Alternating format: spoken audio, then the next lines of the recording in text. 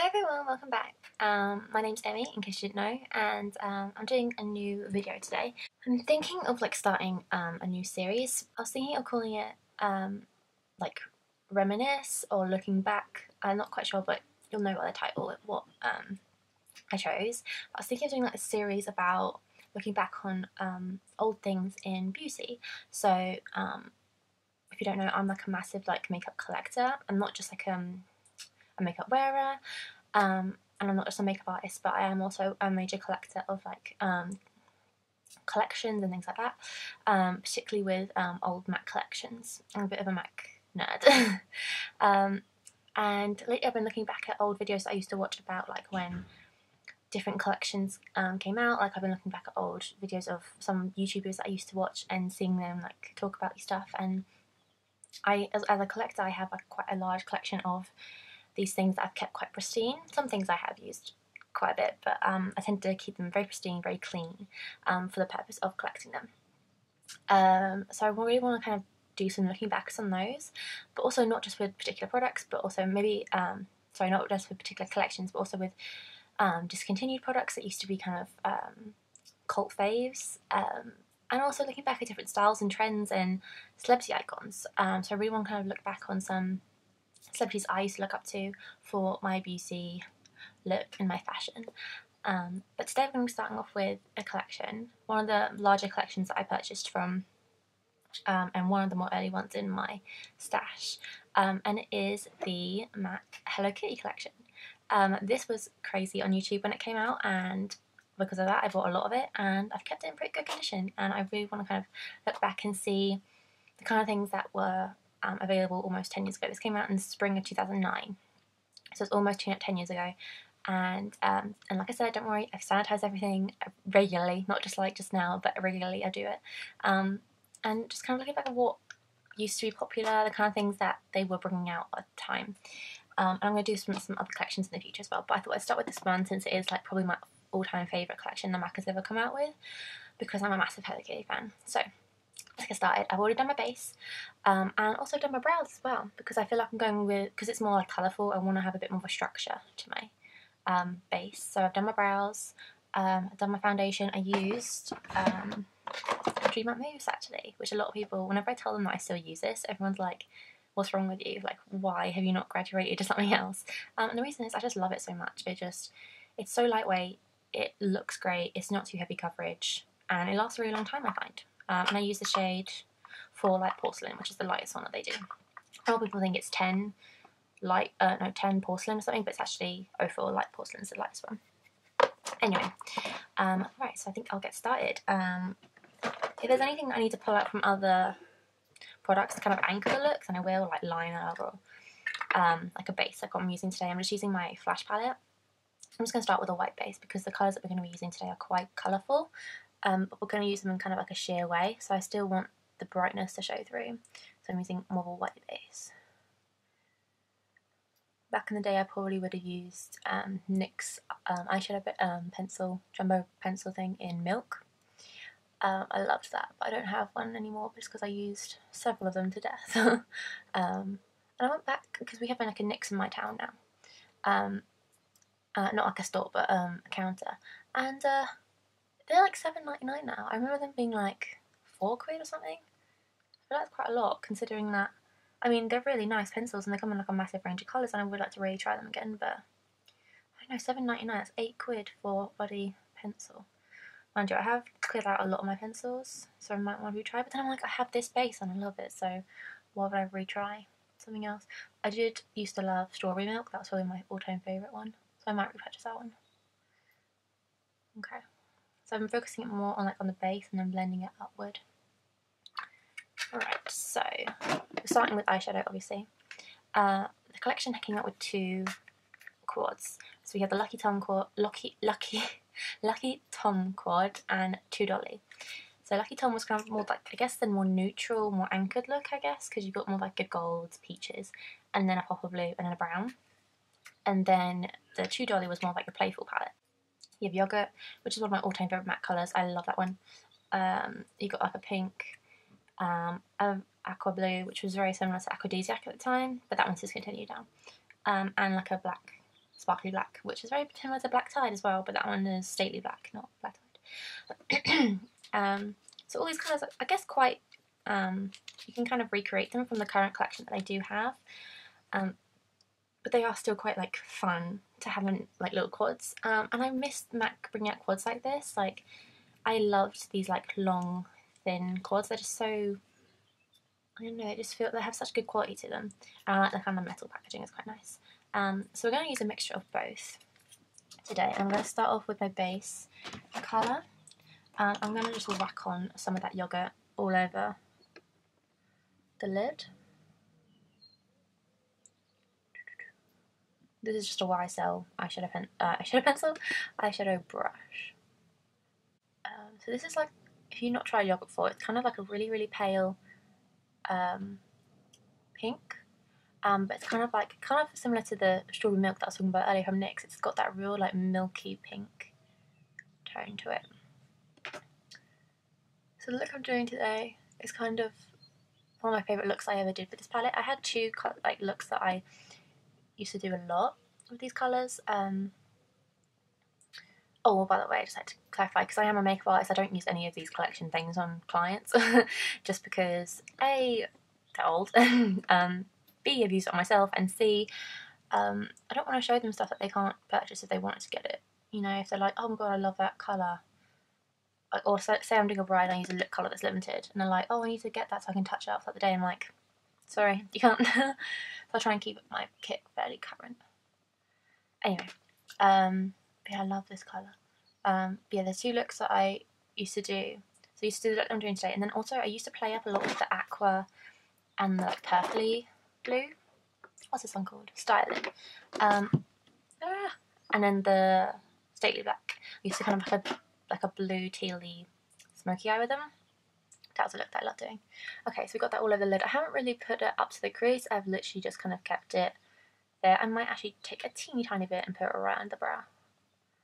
Just so we get a little bit of a highlight, but not really putting a lot in the crease just because we're going to put some other colours there and I want it to still to have a little bit of tackiness.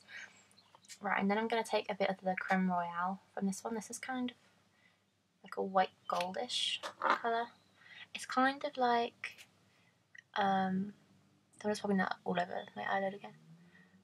I'm trying to think of from the current collection that it's similar to.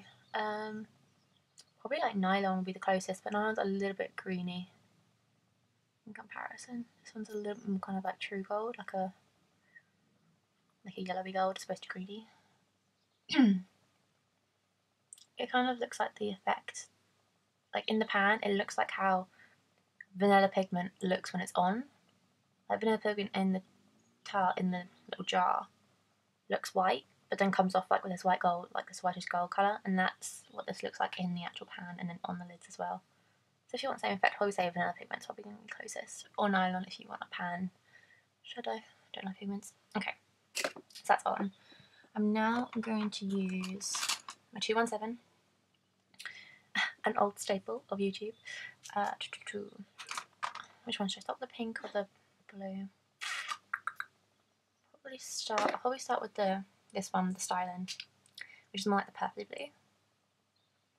So these colours are all kind of like there's lots of brights in this collection.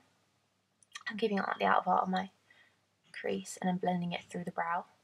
Um, lots of brights in this collection, but all the finishes are kind of like frosts and um, finishes, and they're very and like Veluxe pearls. They're very like sheer, so the whole point of this collection to me was kind of like this sheer, soft, um, like playful colour um, to kind of, I guess, play with like the youthful um, aspect of um, Hello Kitty, which I love. Um, I feel like bright colours are definitely making like a comeback. I feel like at the, mm, the past couple of years, it's all been about those like really like intense neutrals, so like your intense burgundies and warm tones. Everyone loves a bloody warm tone neutral, don't they? Um, as you see, I'm keeping it really, really soft. I'm really like just holding the end of my brush and using that kind of tickling the skin. Um, and I'm taking it quite far out as well. Um, but I feel like people are I feel I feel like people are exploring more with colour, not just though like in a bright way, but in these kind of really soft tones again. Like a lot of people thought these past couple of years, if you're going to go colour, you're going to go bright colour, which is great. But I feel like, which is great for people who love colour to wear it in like a bright way. But I feel like a lot of people kind of got a bit deterred about how to wear colour in a way that's still wearable. So then the warm tone neutrals kind of became like a massive thing. I feel like subtle colour is kind of making a comeback. Kind of really effortless which I love because I love colour, and I, but I want to be wearing it every day, but not look like I've got a ton of makeup on. The look we're kind of doing is kind of like a I call it like a winged out angel look because I'm using these real like angel angelic angelic colours. I was just thinking, did I actually say it right? Angelic colours um, in like a winged out formation. This look the reason why, like, I used to do this a lot, and the reason why is because I actually remember when I used to, I used to watch Nikki Torres a lot. When um, I feel like when she kind of did, uh, not like a range of stuff, but I feel like she did more like celebrity looks and stuff. Now I feel like it is, it's all I don't want to say like it's all the same because it's not, but it's all her personality really now, which is great and I love that, but it's not really me. Whereas before I liked when she kind of did inspired looks by like celebrities and stuff. I don't know if she still does those, but I still love her. I think she's a great person, but just not the kind of videos I want to watch anymore.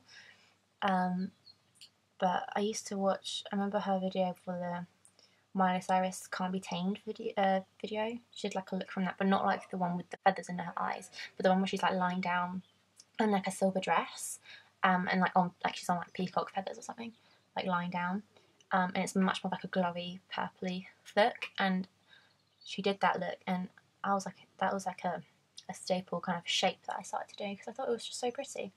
I've been spending loads of time on that. Okay, I think I'm done. Okay, so we've got like the purple and I'm going to go in with the aqua blue colour. The, um, what's this called? Oh, this one's the Lucky Tom colour. You can come out on the brush. All the same brush. I love the 217. It just works so well. I'm just going straight over that. I'm going a little bit more like wide, so I'm kind of taking it a little bit further in, a little bit further out. And um, I'm taking it out, I'm really kind of almost doing like a triangular shape up here.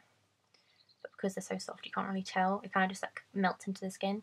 And on the um, forward, I'm kind of bringing it upward towards the brow. You see how it's kind of like glowy because they're kind of sheeny. I love this sort of look. I, I want to know, I always ask this to people. What was like the first makeup product you ever bought? I always like to know. Like, I feel like everyone has, has like a memory. Well, like some, I feel like some people don't know. But a lot of people kind of have like a little story and they kind of have like a vivid memory of when they got their first makeup product. I was, how old was I?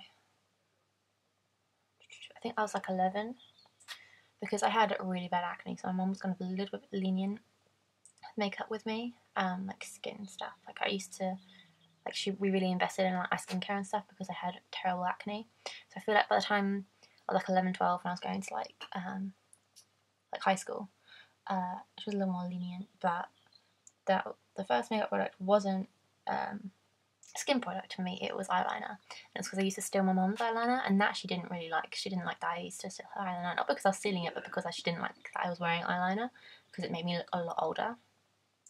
Okay, I'm just going to go in with the pink, and again, same thing.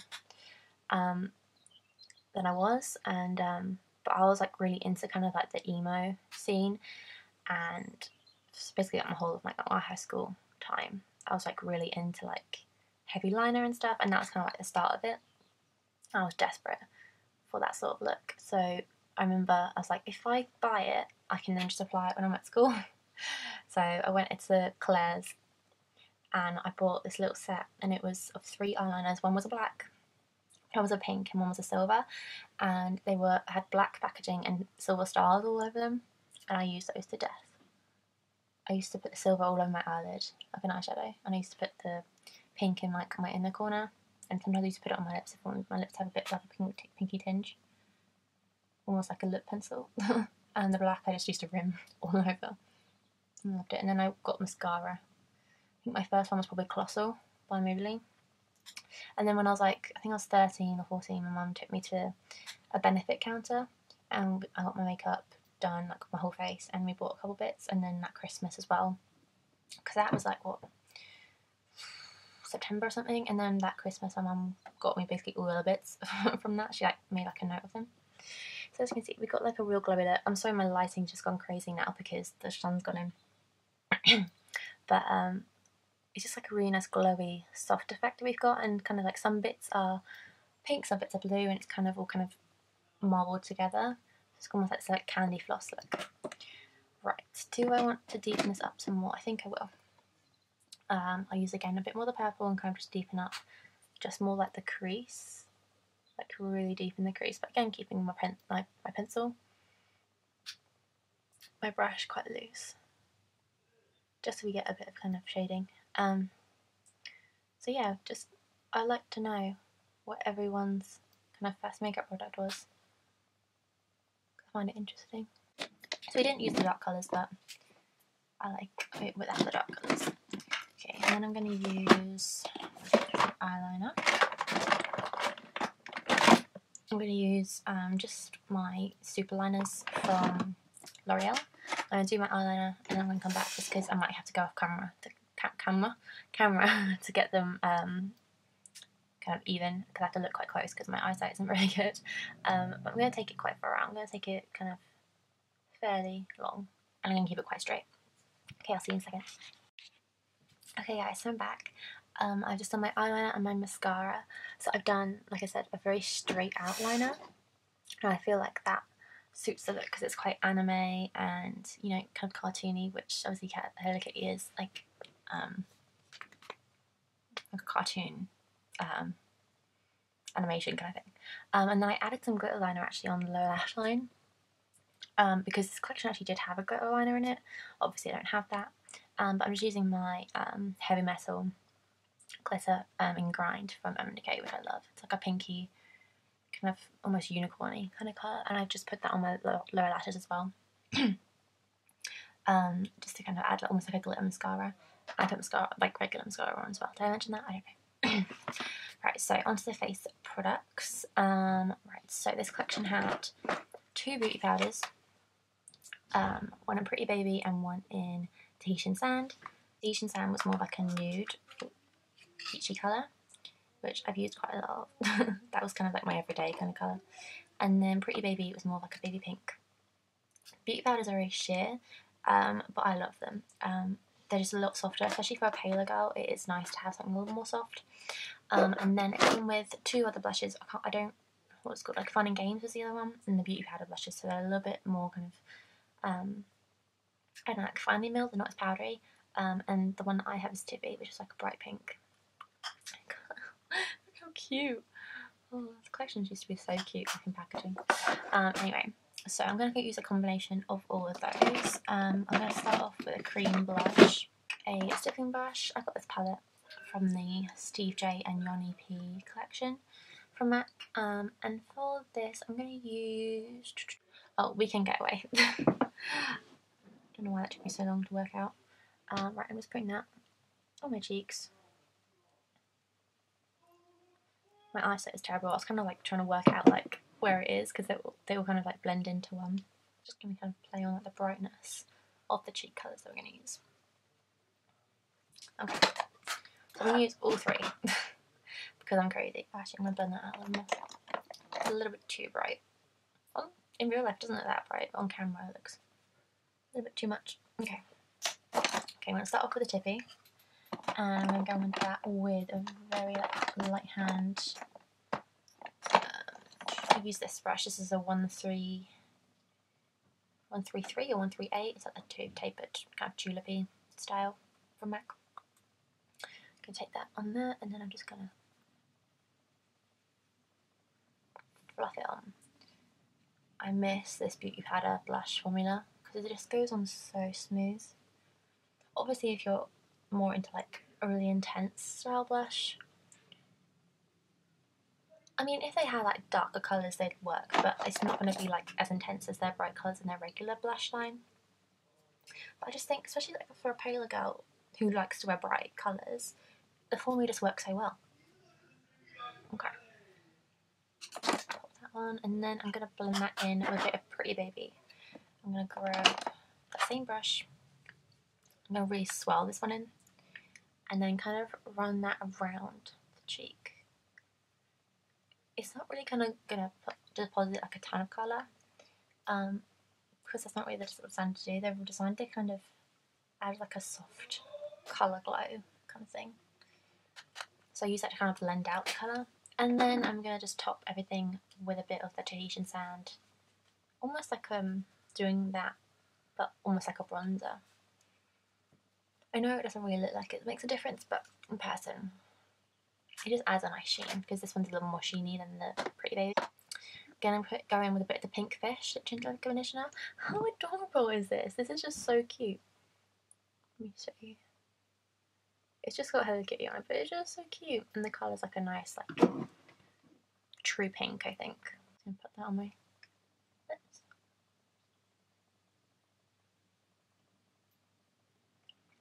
You could just leave it at this, but I'm going a little bit dramatic today because we're going to use all the products and I have one lipstick from the collection.